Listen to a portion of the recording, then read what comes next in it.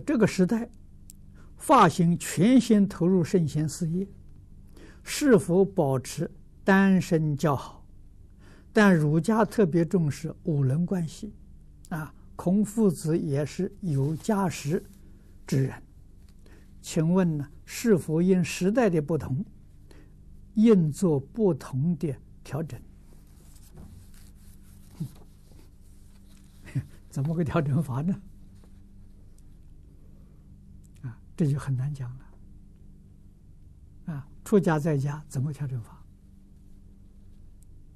啊，是不是出家人常常在回家？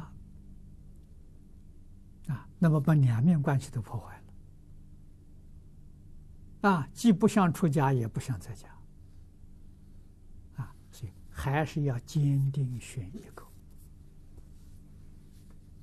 啊，纵然出家了，对于父母的照顾。啊，如果你家里面有兄弟姐妹，有人照顾，非常好。啊，没有人照顾，父母年岁大了，可以引到道场里面来照顾。啊，这是准许的。啊，养父母。啊，但是兄弟姐妹不可以把他引到道场来照顾，不可以。他到道场，道场做义工去啊，所以。这个都是叫通情达理呀，啊，那么为什么独生比较好呢？独生他没有后顾之忧，啊，让你完全专心全力的来学习，啊，你有家庭一定分心，啊，你不能够全心专专注，这是大学问呐。不是普通的学学术啊！啊，我当年在初学佛的时候，就是有这么个好的条件，啊，没有结婚呐。遇到这桩事情，老师也鼓励我，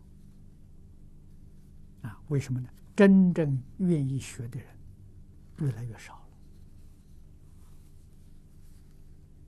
啊，现在钟茂生居士发现。啊，要来学，啊，他的母亲非常难得，写了封信给我，啊，将来钟茂生是出家在家，由我决定，啊，他不会有意见，这就好啊，啊，我怎么想法呢？我让钟茂生出家了，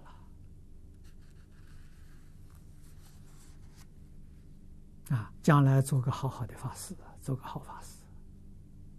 啊续佛慧命，啊，弘法利生，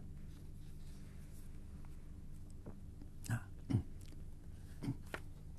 这个怎么选择是自己的事情，啊，但是这个选择的时候，肯定对于将来的会有影响。